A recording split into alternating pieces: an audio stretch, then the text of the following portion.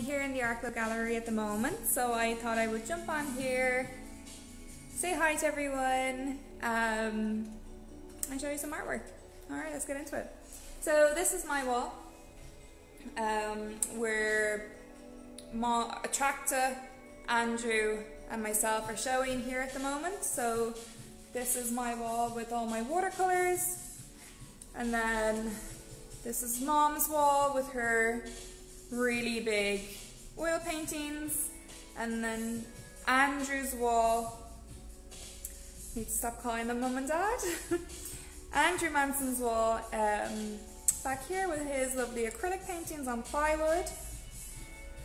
Um, I've done a whole load of really pretty uh, watercolours so I'll just show you some of them. We go. Okay. So this is one. It's super nice. This is the Butterfly Nebula. Um, so they're all uh, watercolors. I think this one is one of my favorites. So cute. This one as well. Super cute. So they're very small pieces as well. So you could do like a little gallery wall. You could hang them on your wall like that, or you could, you know, get them closer together, or they could, if you've got like a small space, you could definitely put one up there. I've hung them just with command strips so that you can like easily move them around and stuff. But they're very sweet little paintings. That one's super cute too. They're all available here in the gallery. Oh, my nose is all red from wearing a mask. Okay. Um, oh, this one here is cute too. So, what I've done is I've uh, reclaimed some old frames. So I was able to do that because I was working in the Copper House and I was actually framing with them. And I learned a lot of tips and tricks and skills from the guys over there. Uh, this is one of my watercolors, so cute.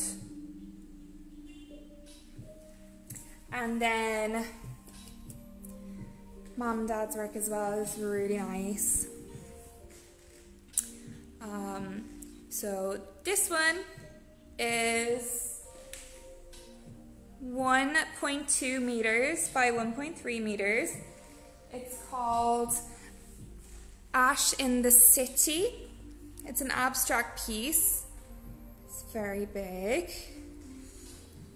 And then this one is called Nature and Nurture 5. I don't know if you can see. Sort of like a figure almost. Again, it is abstract because so you can see whatever you want to see. But she does layers and layers and layers of oil, thin oil paint to make her art. It's beautiful. Okay, and then Andrew's pieces here. This is snowdrops and rhubarb. So he says a lot as well that um, this piece actually shows a lot of global warming because it was too early for the rhubarb to be growing that much when the snowdrops were out this year. And he thought that was kind of changing with the times, so he thought it was really important to paint that. So that's that one there. It is 23 by 40 centimeters. And then this one, it's gorgeous, isn't it? It's called Snowdrops. It's 55 by 86 centimeters. And then you've got this really big piece here back laying in Arklow. And so what he did was he actually um, saw this view every day for over a year, and he always said that like um, the only thing that would change is the washing on the line and the direction of the sunlight. So he painted it, uh, the same scene in different in different days. So yeah. that's our show here at the moment. Um, I'm going to go back over to my stuff